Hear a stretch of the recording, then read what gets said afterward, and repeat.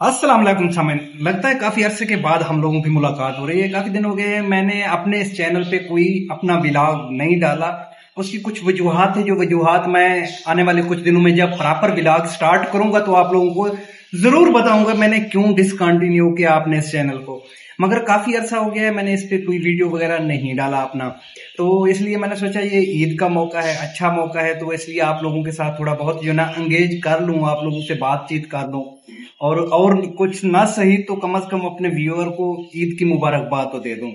तो सबसे पहले मैं आप लोगों को दिली तौर पर ईद मुबारक कहता हूँ। उम्मीद है कि आपकी जो ईद की खुशियाँ हैं वो बेहतर तरीके से गुजर रही होंगी। आप लोग छुट्टियों को एंजॉय कर रहे हो, कोई जो अब नॉर्मली सीज़न है, ट्यूबवेल पे नहाने का तो आप लोग उसको खूब हला गुला कर रहे होंगे और खूब इंजॉय कर रहे होंगे।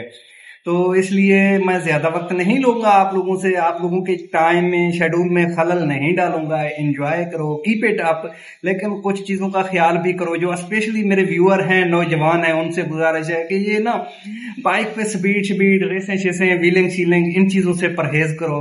क्योंकि ये ज़िंदगी ना बड़ी खूबसूरत चीज़ है। ये नायाब चीज़ है। ये एक बार मिलती है। बंदा रिस्क ले तो दूसरी चीज़ों में ले, ज़िंदगी में कम अज कम रिस्क ना ले। तो इसलिए आराम से गुजारो। ये ईद एंजॉय करो, दोस्तों के साथ गपशप करो। आखिर में एक बार फिर मेरी तरफ़ से तमाम सामीन को दिली तौर पर ईद मुबारक। आपको, आपकी फैमिली को और आपके दोस्तों अहबाब को दिली तौर पर ईद मुबारक। ईद की खुशियाँ इंजॉय करो। अपने दुआओं में मुझे याद रखना। थैंक यू अल्लाह हाफिज़।